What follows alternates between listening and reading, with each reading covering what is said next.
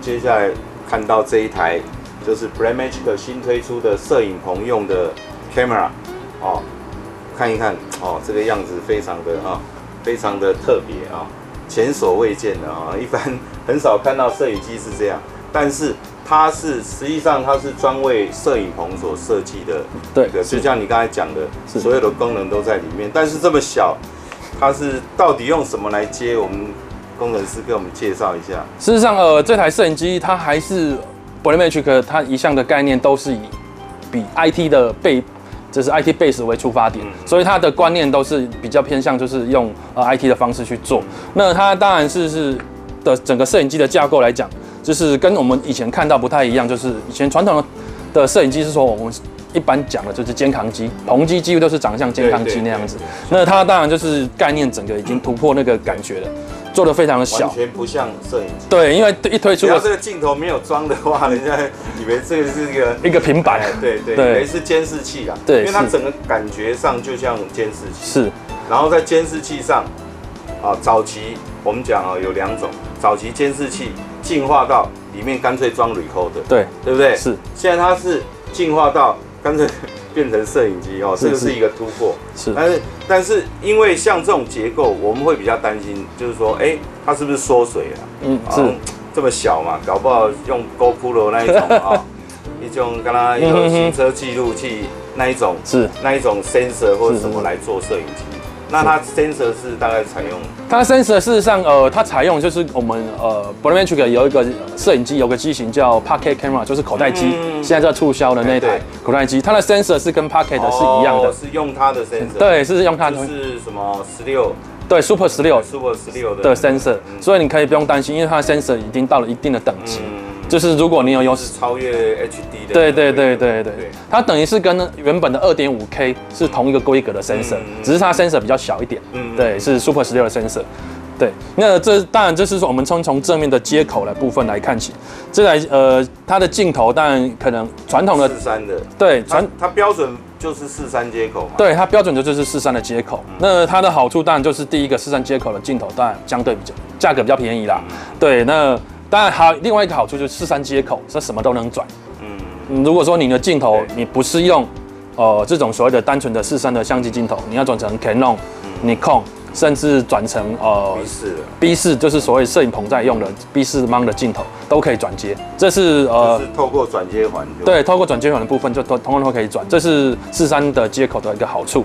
那接下来我们再介绍它的呃 I/O 的接口的部分。那这部分它比较特殊的是，呃，我们刚刚看到这条线，这条线呃，我们一般是这个接口大部分都应用在所谓的 IT 的所谓的 Fiber 的网络的一个传输上面。那呃，当然 Blackmagic 把它拿拿来传输 video。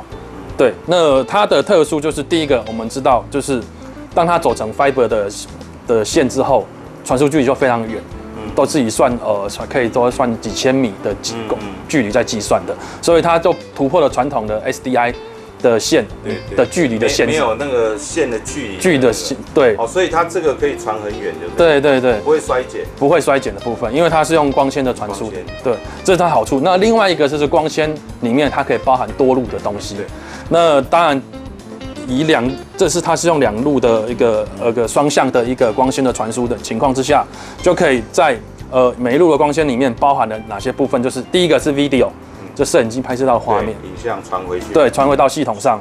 那在第二个我们可以传的就是 audio 的部分，嗯，就我们现现在看到的这个这部分，这是我们 intercom 的部分对，就是用我们 intercom 这个部分就可以跟我们导播系统做一个沟通。对，这是它很简单，就是包含到了 intercom 很重要。第三个还有我们现在看到这个塔里灯的部分，哦，对塔里在这。哦，对，就是应该是说呃整个摄影棚设备其实当然也是很重要的一环。它有塔里灯的话，它一定要的，对，不然人家不知道哪一台拍不。知道不知道按到哪一机去了。对，这是它一个但但是它就这么小，它可以外接吗？不行。呃目前是没有外接的部分。就是就是内建这样。对，那那因为它的灯还蛮明显的，所以就是在 on 的时候，你可能还是会很明显去辨别到。对，这是它的部分。那当然，它除了这呃这传输这部分，它还可以传输 audio 的部分。像我们呃在另外一边接口上就有看到两个，就是两个 Canon 的接头嗯对 Canon 头，它有两路的部分，就可以呃你可以现场一些声音，像你可以架指向麦，这是输入的吗？对，这是输入，嗯对你两个券，对两券的部分，你就可以架，你你等于说我外部输入进来，透对过这个传给导播机。对，再传对传回去它的系统上。当然，它还有一台就是我们所谓的 Studio Converter 嗯的部分，它可以透过它把光纤的讯号解开之后就可以变成 SDI 的 video 讯号，嗯那可以变成呃 Canon 头的一个 audio 的讯号，就可以送到导播机系统去分配使用这样子。对，因为我我才想才想问这个，就是说是它完全透过这个这一条出去嘛，是，那你那一边必须有个解码。对对，一定要有一个对一个 decode 的部分。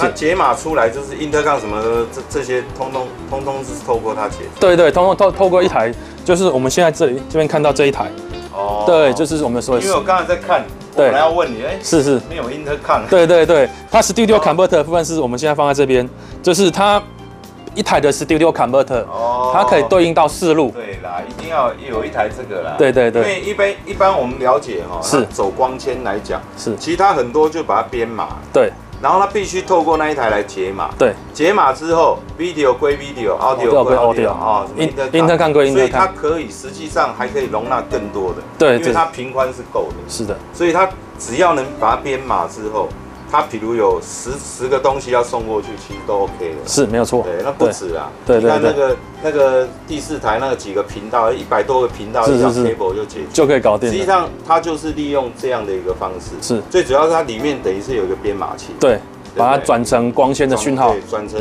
各种讯号，然后透过它来解码。对，解码之后就给 switcher 给什么给什么，对，就可以分配去使用这样子。哦，当然，你看这台解码机它本身，嗯它就是一个呃所谓的 intercom，因为你看这里有个小喇叭，哦，对，那这里边有一对这边有耳机接口，就是也可以接类似对，一样可以类似接这种耳机，或是你直接用 Canon 头接麦克风啊，就是一个 intercom 的设备了。哦，对，来我们看一下。这两个嘛，是的，就接在那个我看就那两个插孔，对，我们就把这个接过来这边，对，一组板块，对你，导播这里也就带对你导播就可以带着耳机跟摄影师在沟通。嗯。当然，你也可以透过喇叭，因为这上面本身就有一个小的喇叭啊，那一个就接那个外接麦克风麦克风，你就直接可以不习不习惯带这个的话，对，就直接用那。就用传统的就是 intercom 方式去沟通那。这里就是切 intercom 一二三四，对，这也是一二三四路、三四路的 intercom，看你要跟哪一路的摄影师讲话，嗯还是跟全部。全部的摄影师讲话，都可以透过这边来切换。它是一二三四一二，上面也是一二三四。应该是说它只是讲话的方式不一样，它是切换的方式啊。哦对对，这是只是它几个选择方式不一样。它是对四路而已。对，应该是说呃，它一台的 Studio Camera，它是对四路的，哦，假如我用八 G 的话，就是再加一个。就必须两两两台。对哦所以说它一个解码器就是对四台。对对，四台的哦，应该是说它一台一个解码器上面它有四个 Fiber 的接口，就可以对四路的，不管是摄影机也好，或是就一直加嘛。，对对一直加上去。四路是合理的哦。是一般我们 switcher 基本就是四、八、十六、三十二，对，所以它是以四为一个基数。是没错四个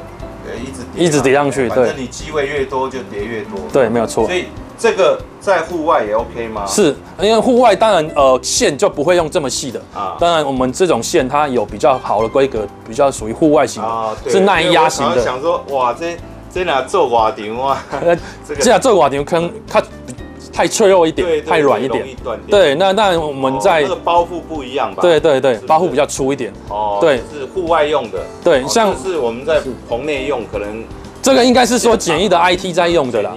对哦，那如果是 video，我们帮客户规划的时候，我们就会购买不会用这不会用这种线，我们就用比较粗的对耐压的线。有有有那个包覆的。对，有包覆的线哦。对，在外外面工作，对，用这个 有一点担心。对对对哦这是我们你展示用，这我们展示在测试的用的，就是代表就是只是一般的 IT 线，嗯它就可以做到这样的对，不需要到特别。